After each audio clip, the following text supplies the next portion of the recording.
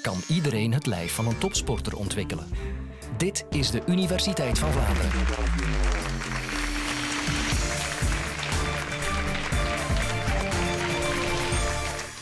Mijn zoon Daan die is acht jaar en die is eigenlijk net als zijn papa zot van sport.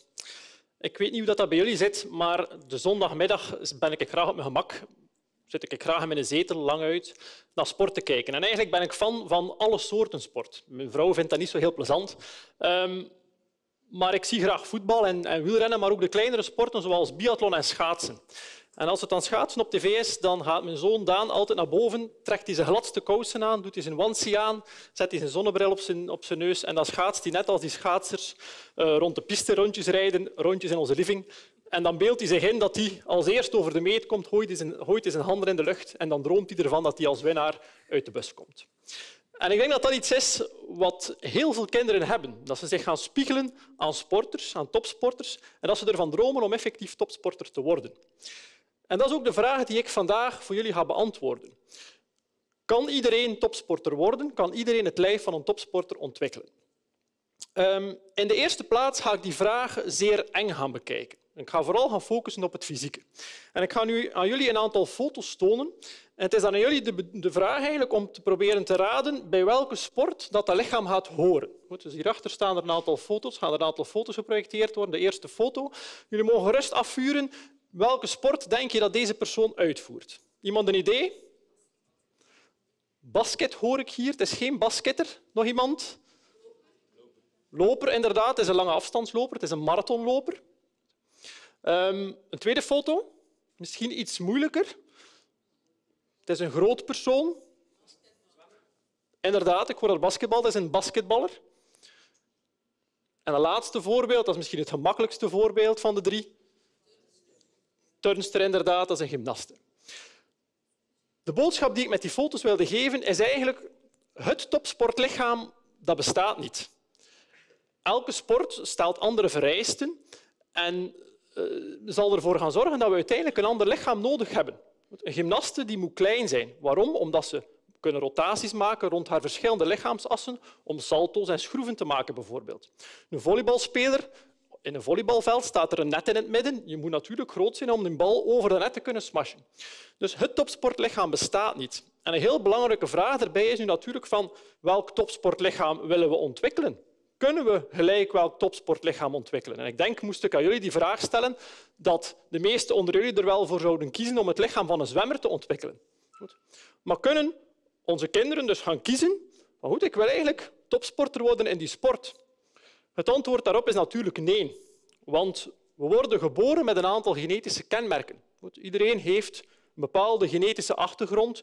Zijn je ouders allebei twee meter, dan ga je waarschijnlijk ook groot worden en ga je waarschijnlijk goed voorbestemd zijn om toch ook in bepaalde sporten, zoals basket en volleybal, uit te gaan blinken. Um, maar ook inwendige karakteristieken, bijvoorbeeld de eigenschappen van je spieren, je spiervezels, zullen gaan determineren of dat je eerder geschikt bent om uithoudingssporten te doen of misschien eerder explosieve sporten. Dus dat is een heel belangrijk gegeven dat we hebben.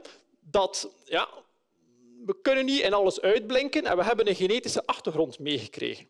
En het is dan ook heel belangrijk dat we eigenlijk al op jonge leeftijd de kinderen gaan oriënteren in een bepaalde richting. En gaan aangeven, kijk, bij de jonge kinderen, eigenlijk zijn jullie meer geschikt om die en die en die sport te gaan uitvoeren en veel minder om die en die en die sport uit te oefenen. En er is daarvoor een testbatterij ontwikkeld. Die testbatterij heet het Vlaamse Sportkompas. En dat Vlaamse Sportkompas dat bestaat eigenlijk uit een vijftiental heel eenvoudige testjes. Vijftiental testen die een drietal zaken meten. Het eerste wat gemeten wordt, is antropometrie. Er wordt gekeken naar je lichaamsbouw. Een tweede zaak is dat uw fysieke eigenschappen gemeten worden. Iedereen kent wel de bieptest. Die bieptest zit daarin en die meet uw uithoudingsvermogen. Daarnaast zijn er een aantal testen die ook gaan peilen naar uw motorische competentie. En op basis van uh, die testen zal dat sportkompas een soort van kompas zijn voor kinderen. Dat zal gaan aangeven van kijk, eigenlijk ben jij beter en beter geschikt om die sport te gaan doen. En zal dat kind ook gaan weten van eigenlijk als ik die sport ga doen, dan, heb ik, dan verhoog ik mijn kans om succes te gaan beleven in de sport en verhoog ik mijn kans om misschien wel topsporter te gaan worden. En je ziet hier ook een voorbeeld van zo'n sportkompas. Bijvoorbeeld Dat sportkompas geeft hier aan de letters of de woorden die, het, het grootst weergegeven zijn. Dit kind bijvoorbeeld, uit die testbatterij blijkt dat dat geschikt zou zijn om atletiek te gaan doen, bijvoorbeeld volleybal of ook eerder tennis. Dus dat sportkompas kan al een leidraad geven, kan al een richting gaan geven. En dat is heel belangrijk dat we op basis van die genetische eigenschappen een stuk onze kinderen gaan oriënteren in de sport. Maar is dat voldoende? Natuurlijk moet er ook getraind worden om uiteindelijk dat niveau te gaan bereiken. Maar een heel belangrijke, cruciale vraag is natuurlijk hoeveel moeten we trainen? En er is daar een theorie over, dat is de Theory of Deliberate Practice. En die theorie stelt dat we om echt expert te worden in een bepaalde vaardigheid, dat we daarvoor eigenlijk 10.000 uur zouden moeten spenderen aan wat men noemt deliberate practice. En wat is deliberate practice? Dat is echt gestructureerd bezig zijn met die sport, gestructureerd oefenen. Die theorie die is ten andere niet afkomstig uit de sport. Die is eigenlijk afkomstig uit de muziekwereld. En men heeft vastgesteld in een studie, eigenlijk al uit de jaren 90, bij violisten, dat de violisten die uiteindelijk professional werden, dat die ook in hun jeugdcarrière het meeste uren aan deliberate practice hebben gespendeerd. Je ziet ook, de beste en de professionals die hadden ongeveer gedurende een lange periode ongeveer in totaal een 10.000 tot 11.000 uur gespendeerd aan deliberate practice. En men kan dat ook gaan transfereren naar de sport toe. We moeten er effectief voor gaan trainen.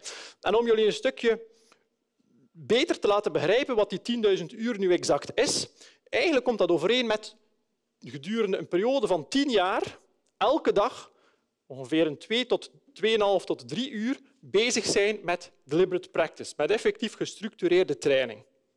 Dus dat is vrij uitgesproken, dat is vrij veel. En dat geeft ook implicaties.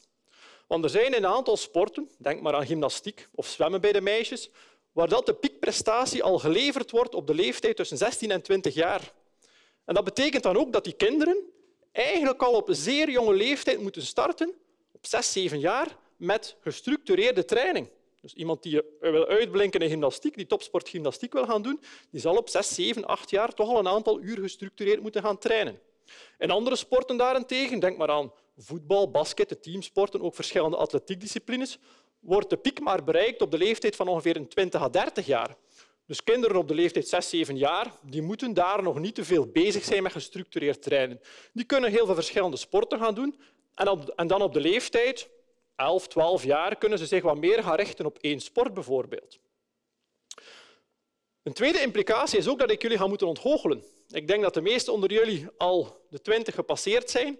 En als je weet dat de meeste fysieke eigenschappen een piek bereiken op de leeftijd tussen de 20 en de 25 jaar, dat is ook de leeftijd waar dat de topsport, de meeste sporten, de topsporters, dat is de leeftijd van die sporters, ehm, dan denk ik, als jullie nu nog moeten beginnen met deliberate practice, dat jullie piekperiode al voorbij is en dat jullie eigenlijk al te laat zijn om effectief nog topsporter te worden. Het lichaam ontwikkelen of eruit zien als een topsporter, dat kan misschien wel nog, maar uiteindelijk effectief het lichaam, het inwendige lichaam ook hebben om zodanig te kunnen functioneren als een topsporter, dat zal voor jullie al niet meer mogelijk zijn. Goed, dus we hebben al twee belangrijke zaken. In de eerste plaats hebben we een genetische aanleg die ons oriënteert in een bepaalde sport. En in de tweede plaats hebben we ook training. We moeten trainen. Maar wil dat dan zeggen dat elk kind dat op een goede manier georiënteerd is en voldoende traint ook topsporter gaat worden? Dat is natuurlijk een beetje te kort door de bocht. En ik kan dat het beste gaan illustreren aan de hand van twee ballonnen. Goed. Ik ga ervoor wel even een bevallige assistent op het podium roepen. Als je zou willen, even mij assisteren. Ik heb hier twee ballonnen die gefabriceerd zijn, die geboren zijn met bepaalde kenmerken. En wat ik ga doen is, ik ga die twee ballonnen exact dezelfde trainingsinput geven. Ik ga in die twee ballonnen twee keer even krachtig blazen en we gaan zien wat er gebeurt. Ik ga je even vragen om die rode ballon vast te houden. Ik begin met de blauwe.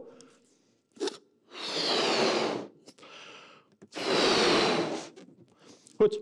Zoals u ziet is die ballon in volume toegenomen. Hij heeft getraind en hij is dus ook veranderd. Er zijn trainingsadaptaties voorgekomen en hij zal dus beter gaan presteren. Goed. Ik ga u nu vragen om die ballon goed vast te houden, zodat hij niet leegloopt. Ik ga dan ook de tweede ballon net hetzelfde doen. Ik ga daar ook twee keer even krachtig in blazen.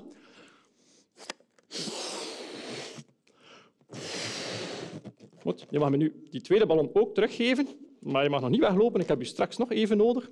Wat zien we? Die rode ballon niet tegenstaande dat ik de exact dezelfde trainingsinput gegeven heb, is eigenlijk veel minder in volume toegenomen. dan die blauwe ballon. En dat is ook bij twee personen, twee individuen, is dat net hetzelfde. Als ik twee individuen exact hetzelfde trainingsschema ga opleggen, is dat heel goed mogelijk dat de ene persoon veel beter zal gaan adapteren dan dat de andere persoon zal doen. Dat noemen we de wet van de individuele trainingsaanpassingen.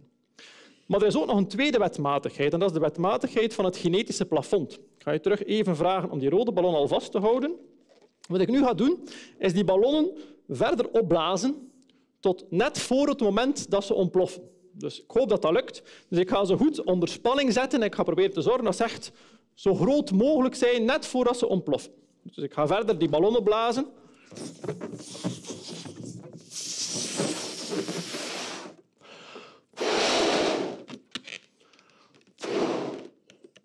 Ik denk dat dat zo ongeveer zal zijn. Die is vrij groot geworden. Die staat serieus onder spanning. Ik ga hem teruggeven aan u. Dus hou hem goed vast dat hij niet verkleint. Voilà. Oké, dan de tweede ballon. Ik ga daar ook net hetzelfde mee doen. Ik ga hem opblazen tot net voordat hij ontploft.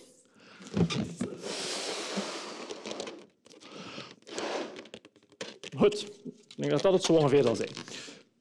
Wat zien we nu? Ik wil u alvast bedanken voor uw vrijwillige bijdrage. U mag terug plaatsnemen. Dus ik heb die twee ballonnen zo ver mogelijk getraind. We zien inderdaad dat in een ene ballon veel meer in volume is kunnen toenemen dan in een andere ballon. Dus we hebben inderdaad personen ook die echt trainbaar zijn. En als ze trainen, dat ze effectief ook een prestatieverbetering hebben, hun lichaam zal versterken. En dat zijn personen die mogelijk wel, doordat ze trainen, die limiet halen om effectief topsporter te worden. Andere personen zijn als die rode ballon, die mogen nog 20.000 uur trainen. Zij gaan toch niet dat niveau, die limiet gaan halen om effectief topsporter te worden. Dat is de wetmatigheid van het genetisch plafond. Natuurlijk is het ook zo dat als we stoppen met trainen, dan verliezen we ook al onze trainingsadaptaties. Goed. Dus we hebben twee belangrijke zaken. We hebben een aantal, twee belangrijke zaken. Aan de ene kant genetische aanleg. Die genetische aanleg die ons voorbestemt om, goed te, om het goed te doen in bepaalde sporten. Maar we moeten ook trainen. Dat is heel belangrijk. Um, die twee factoren zijn allebei heel belangrijk om topsport te gaan doen. En we kunnen onze sporters gaan indelen op basis van die twee criteria in vier verschillende categorieën. Vier verschillende categorieën. En we kunnen daarbij verwijzen naar de paardenwereld. We hebben in de, in de eerste categorie de Arabische volbloeden, de renpaarden. Dat zijn de paarden die een hele goede genetische aanleg hebben om topsport te doen en die ook geneigd zijn om te trainen, die veel trainingsarbeid aan de dag gaan leggen. Dat zijn de sporters die, uh, die echt klasse hebben. De Kevin De Bruyne in het voetbal, Tom Bonen in het wielrennen bijvoorbeeld. Dat zijn de winnaars in de sport. We hebben een tweede categorie, die kunnen we vergelijken met, met de schichtige paarden of de dravers. Dat zijn ook paarden die wel een goede genetische aanleg hebben, maar die training dat hoeft toch niet zo erg. We merken dat ook. Wij begeleiden een aantal sporters. En dat zijn de sporters die bij ons, als ze een inspanningstest komen doen, die gaan als slufferend binnenkomen omdat ze niet veel zin hebben om een maximale inspanningstest te doen. In het voetbal zijn dat de voetballers die de kantjes eraf lopen of wielrenners die, als ze hun schema gekregen hebben, altijd net iets minder doen dan dat ze eigenlijk zouden moeten doen.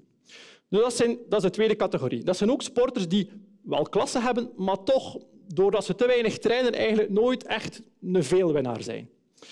We hebben een derde categorie. Dat zijn dan sporters die hun gebrek aan genetisch talent een stukje gaan compenseren door echt een grote werkijver, door echt een trainingsijver. Ze gaan echt proberen door heel veel te trainen en hard te trainen toch die limiet te halen en toch um, ervoor proberen te zorgen dat ze topsporter gaan worden.